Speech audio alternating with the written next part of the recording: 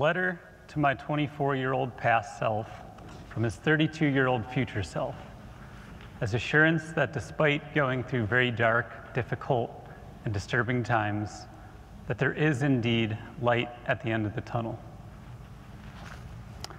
Dear Paul, by now you've received news of your malignant brain cancer. You've had your brain surgery and are currently on your seventh day of being wide awake out of nine days straight, terrified, wondering when a person would die without sleep. Receiving some of the most life shattering news, being traumatized from a near death experience in the hospital, and not even having access to sleep to begin to process any of this is like a form of torture, to say the least. Things have been difficult for you for quite some time now with your double vision, partial facial paralysis, intense fatigue, and the beginning of your bizarre sleep interference. And I hate to say it, but this is only the beginning of things. Chemotherapy and radiation, while they take care of the cancer, will also amplify some of the already uncomfortable symptoms that you're dealing with. High levels of anxiety, panic, obsessive negative thinking patterns, being terrified of walking, migraines, and waking up 30 times every single night will be your norm for the next year and a half. I'm writing you this because I know that suicide, although you're far from being close to acting on it, out of love for your family, friends, girlfriend, and dog's sake, it has entered your mind as being one of the only possible ways of escaping insanity as well as death from sleep deprivation. While all of this is without a doubt your reality and will be for quite a while, I am here to tell you that there is light at the end of the tunnel and that you're going to come out of this more mentally and physically balanced than you've ever been in your entire life. From morning to night, you're going to begin to obsessively research about health and wellness from all different cultural perspectives as you're able to. Reading medical literature, listening to lectures, endlessly experimenting with pharmaceuticals, supplements, diet changes, herbs, chiropractors, acupuncturists, yoga, breath work, meditation, Qigong, different philosophies, and the list just goes on. And over time, very slowly but surely, you are going to take enough small steps that add up to building a very strong mental, physical, and spiritual foundation in your life. And ironically, out of everything that you experiment with and implement into your life, you're going to find that a consistent daily breathing practice has been the most beneficial and transformative. I know you're not going to believe me about that for many different reasons, especially since I'm from the future. but for one being that we really have no idea how much we are capable of in life until we become familiar with the subtle nature and workings of our breath, body, and mind. Discovering how life changing this is for you, especially for helping you get through an insanely dark time, you're going to go on to make it your life mission to share this knowledge with others for the rest of your life in some way. Starting in 2021, teaching mindset guidance classes. Believe it or not, you're going to guide a breathing, body, and meditation practice with the nurses in the department that you get treated in. You're going to gain the interest from an immunologist to develop a wellness practice to offer to patients to do a study on, as well as gain interest to expand that wellness practice to be offered through the cancer department that you get treated in.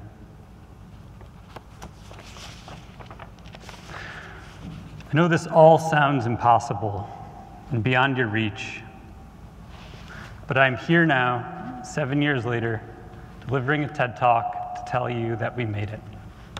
Keep going and follow your breath. Looking back on that dark time of my life when I was internally and externally exploring the mind, I developed a very large fascination with learning about the placebo effect.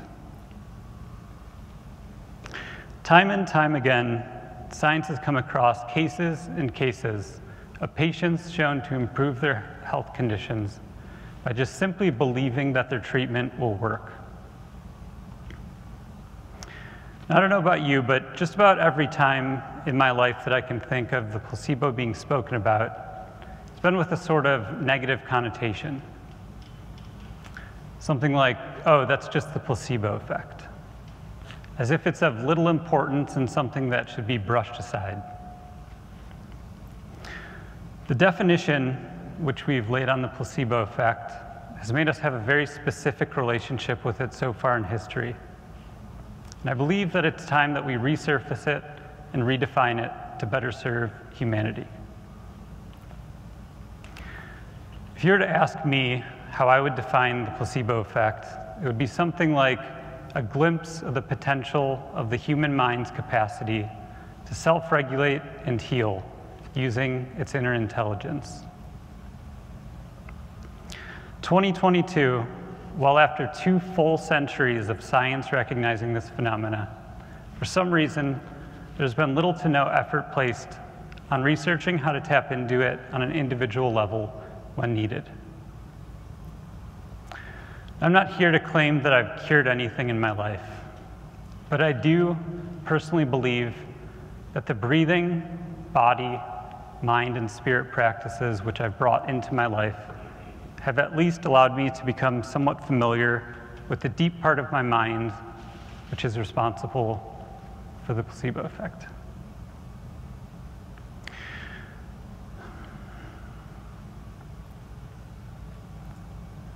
If we can spend billions and billions of dollars externally exploring going to the moon, then I feel that internally exploring with even just a tiny fraction of this amount of funding should be no issue at all. I'd like to call to action to those who are in a position to be able to research this in great depth through rigorous studies and learn how to teach individuals how to tap into this and implement it into our medicine system as well as throughout our culture.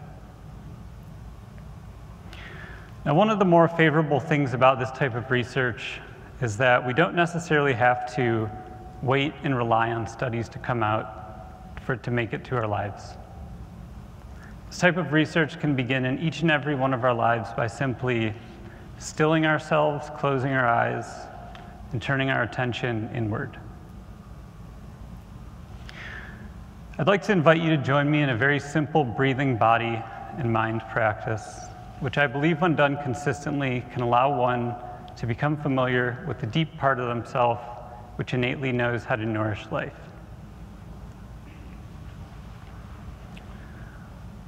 So, together we will slowly close our eyes, turn our attention inward. Together, become aware of the quality of our breath in this moment, the speed of it, the depth. Become aware of how we're currently holding our physical body, noticing any tension throughout it, and becoming aware of our current thoughts and emotions.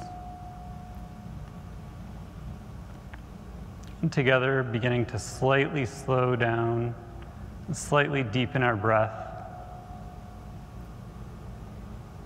And breathe into certain areas in our body that we notice tension in loosen them up. And together create some sort of space between a deep part of ourself and our thoughts and emotions. As if we were watching a flock of birds fly by.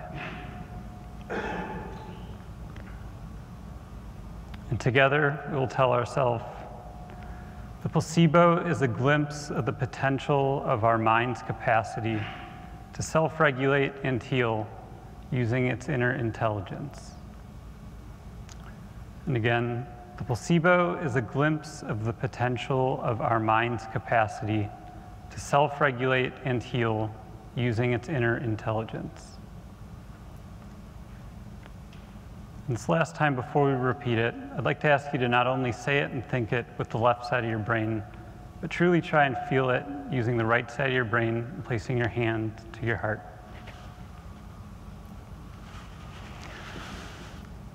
And again, the placebo is a glimpse of the potential of our mind's capacity to self regulate and heal using its inner intelligence. Slowly opening our eyes allowing our hand to fall towards our lap.